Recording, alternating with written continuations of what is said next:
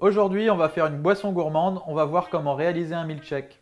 Pour le milkshake, on va prendre du lait, une banane, de la glace coco, de la noix de coco râpée et c'est parti.